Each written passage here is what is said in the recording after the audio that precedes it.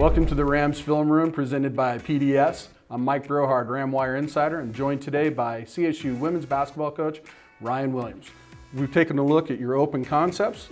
How do you utilize your screens to really create offense in this set? Yeah, here you can see we, we've got a slow break going, so nothing too crazy as far as pace.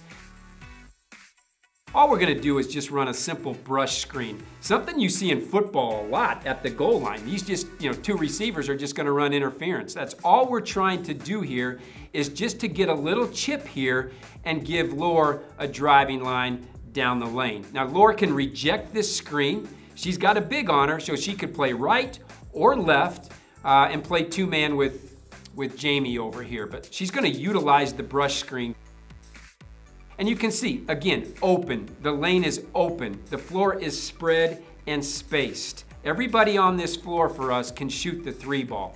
We've got our post in the corner here, and it's Leah Davis. And all she's gonna do is just, once she reads Lore comes off the brush, she's just gonna slam an invert for Tori. And now it's Tori's job to read this little screening action. She reads that her defender, in this case, goes under to start with. She's just gonna pop right behind Leah's screen and get a good angle to, to get her three ball off.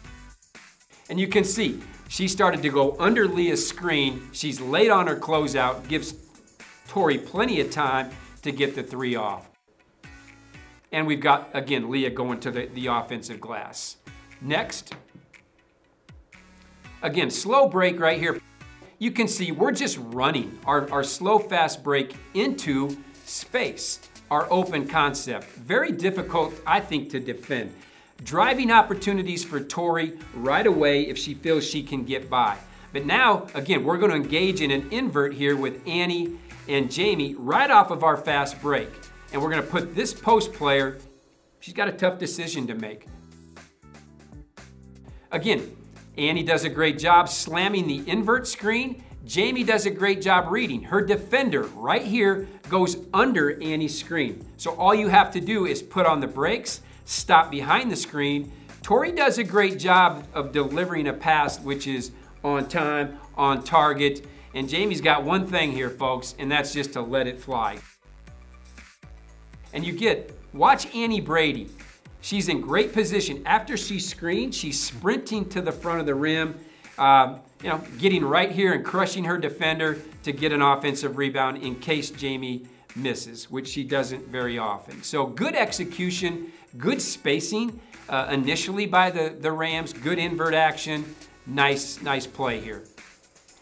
So what you've liked to see is your open concept gives you plenty of options, but how much of that is on Jamie to actually make those split second decisions to see what the defense is doing, how they are taken on the screen. Not just Jamie, but everybody involved. You know, everybody has a job here. The spacing is done by everybody. You know, Jamie's job is to, to read the screen. So important. You know, the defense will defend, or they'll, they'll they'll decide what shot you're gonna shoot. Are you curling the screen? Are you fading the screen? She makes a great read. Point guard's in play with obviously an on-time, on-target pass. So it's just a really good team play.